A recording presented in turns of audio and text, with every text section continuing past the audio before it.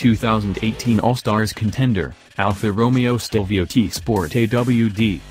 Take away the Giulia Quadrifoglio's 505 horsepower engine and repackage the whole car as a crossover, and you get a much different beast. The 2.0-liter Turbo 4 is a solid power plant.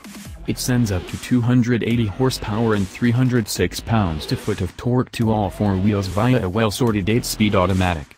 The suspension is tuned well, too, and the steering is sports car quick, though some thought it felt a bit out of place.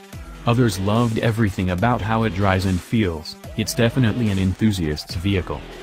A real sleeper, noted editor-at-large Arthur St. Antoine. Didn't see this one coming, wow is that a lot of go from that little four-banger.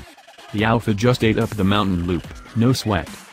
It handles well and is unusually tempting to take onto the track, for an SUV at least, said contributor Basem Wasef. But then there's the unique to Alfa infotainment system, which will likely infuriate the average crossover buyer. Accurately described by social media editor Billy Rehbock as one of the slowest and least intuitive, this is an unnecessary attempt by Alfa to separate itself from its corporate cousins given how good Fiat Chrysler Automobile's Uconnect system is.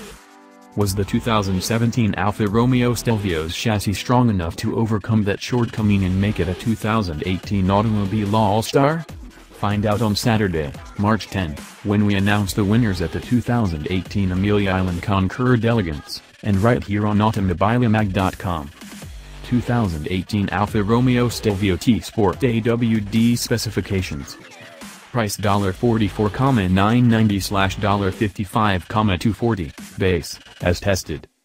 Engine 2.0 liters. DOC 16 valve turbo i4 280ths of a horsepower at 5,200 revolutions per minute, 306 pounds to foot at 2,000 to 4,800 revolutions per minute. Transmission 8-speed automatic.